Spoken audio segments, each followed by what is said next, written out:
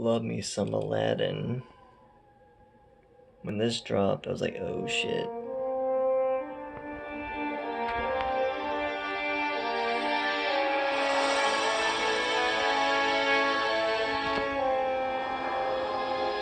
It's only a teaser. Less than two minutes.